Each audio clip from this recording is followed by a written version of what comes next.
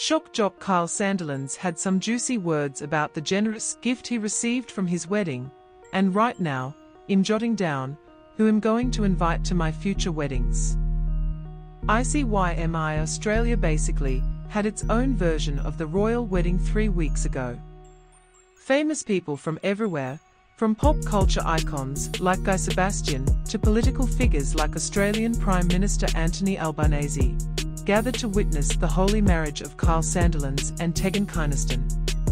But now that the celebrations are over, on Wednesday morning Kyle and co-host Jackie O did a wedding giveaway dump during their short show at KIIS 106.5. It's also worth noting that throughout trip, the couple gave an estimate of cost of each gift, and Kyle asked supposed wedding guests not to bring any printing materials.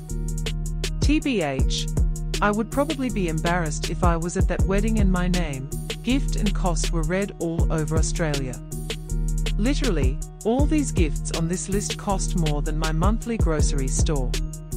A group attending Kyle Sandilands' flashy wedding drank celebrity BTS tea. The couple started out with celebs that people know, and of course they started with Guy Sebastian and his wife Jules Sebastian. First of all, remember, Guy gifted multiple performances for free, Sandilands said. The radio host went on to estimate that it would cost an easy 100,000 to hire Sebastian for a song or two. If I had the money, I would definitely pay that much to hear the song Angels Brought Me Here live. Sandilands revealed that the couple gifted him a set of luxury glasses. Their crystal glasses only come in these big, beautiful, tall glasses. A bag full of these boxes should have about 10 glasses in it. The radio couple then estimated that Guy and Jules' gift should have cost 1,500 plus 100,000 in free performances. Sandilands revealed that the couple bought a set of Waterford champagne crystal flutes that cost him and Kynaston about 3,000 to 4,000. Sandilands said this is what I expect from Stefanovics. As someone who has no idea about the bad and bougie lifestyle, I don't want to exclude myself, but I didn't know Waterford crystals existed until Sandilands dropped this gift. But at least now I know for my future registry, if I want something a little fancy.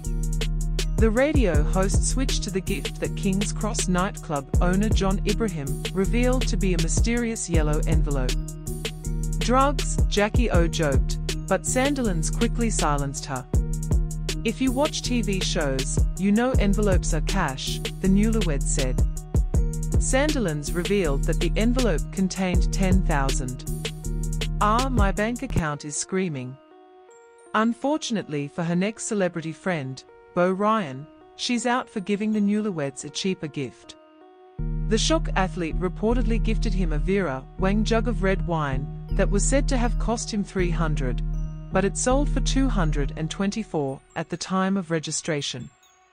Although Jackie and everyone else laughed, I thought you'd get more for your money. Sandilands.